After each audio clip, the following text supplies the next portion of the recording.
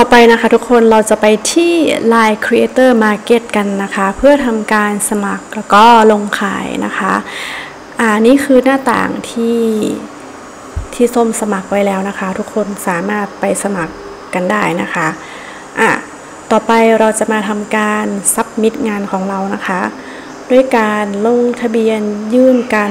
ขายนะคะ ส้มก็จะตั้งชื่อนะคะ เป็นหมีขาวหรือว่า White Teddy Bear นะ แล้วก็เขียนอธิบายไปนะคะว่าเนี่ย White Teddy Bear want to travel the world นะคะ นี่คือหน้าต่างของการลงทะเบียนในการขายไลน์สติกเกอร์นะคะ เสร็จแล้วชื่อ creator เราก็ใส่ไปเป็นชื่อของเรา หรือว่าเราคุณจะใส่เป็นอะไรก็ได้นะคะ แล้วก็เป็นหมวดหมู่นะคะ ส้มก็จะเน้นเป็นแบบ น่ารัก แล้วก็หมวดหมู่ตาม character ก็คือหมีนะคะ เสร็จแล้วอย่างอื่นเราก็ไม่ต้องทำการเข้าร่วมนะคะ เราจะไม่เข้าร่วมแคมเปญแล้วก็ตัวเนี้ยเราก็จะใช้เป็นพื้นที่จำหน่ายก็คือในประเทศไทยเท่านั้นนะคะ ทุกคนนะคะแล้วก็เลื่อนไปนะคะ เลื่อนจนมาถึงข้างล่างเลยนะคะ ทุกคน การใช้รูปถ่ายนะคะ หรือว่าฟิวเจอร์ต่างๆ แล้วก็ไม่ต้องไม่ต้องเข้าร่วมนะคะ ก็คือข้ามไปเลยนะทุกคน เสร็จแล้วก็ทำการกดบันทึกตรงหน้าจอของเรานะคะ อ่า เสร็จแล้วเขาก็จะถามอีกทีหนึ่งเราก็กดโอเคไปเลยค่ะ เสร็จแล้วมันก็จะขึ้นหน้าต่างการจัดการผลงานนะคะ อันนี้เราทำในคอมพิวเตอร์นะคะ เสร็จแล้วก็ไปที่รูปสติกเกอร์นะคะ ที่เราทำไว้ทั้งหมด 18 รูปเนาะ ก็จะมีตัว main main นะคะ ที่ส้มบอกไปก่อนหน้านี้ ส้มก็ทำการเนี่ยเราเลือกเป็น 16 ก่อนนะคะจำนวนสติกเกอร์ที่เราจะจะขายทุกคน ร็จแล้วก็ทำการอัปโหลดรูปที่เป็นตัวเมนนะคะ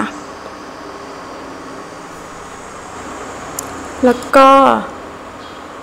รูปที่เป็นตัวแท็บนะคะ ก็ส้มได้บอกไซส์ไปแล้วเนาะ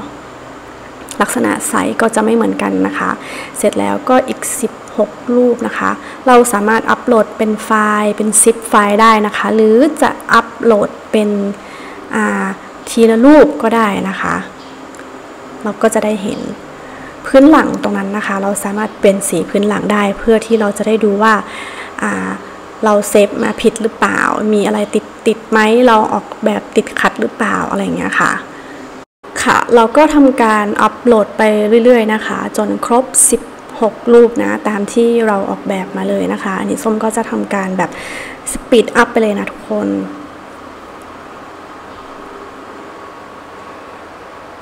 พอเราได้ครบแล้วนะคะ เราก็กลับไปที่ย้อนกลับนะคะ เสร็จแล้ว ให้ไปดูรูปพรีวิวนะคะ อันนี้ก็จะเป็นขึ้นมาเลยว่าเวลาเราจะซื้อรูปลักษณะก็จะเป็นยังไง ก็จะขึ้นมาเป็นหน้าต่างแบบนี้นะคะ เป็นตัวอย่างให้ดูนะ เสร็จแล้วการตั้งค่าแท็ก อันนี้เพื่อนๆสามารถไปตั้งค่า แล้วก็กดตรงแก้ไขได้ แต่ของส้มเนี่ยก็จะข้ามไปนะคะ ก็คือใส่แท็กเข้าไปเนาะ ต่อไปนะคะ ข้อมูลราคาจำหน่ายเราก็เลือกได้นะคะ ว่ามีตั้งแต่ 31 บาท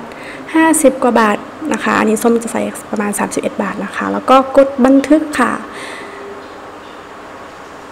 เสร็จแล้วนะทุกคนเราก็จะทำการกดคำขอเพื่อที่เราจะขอจำหน่ายนะคะลายสติกเกอร์ของเรานั่นเอง แล้วก็กดโอเคไปนะคะ เสร็จแล้วก็เขาก็จะเด้งขึ้นมาตรงหน้านี้นะทุกคน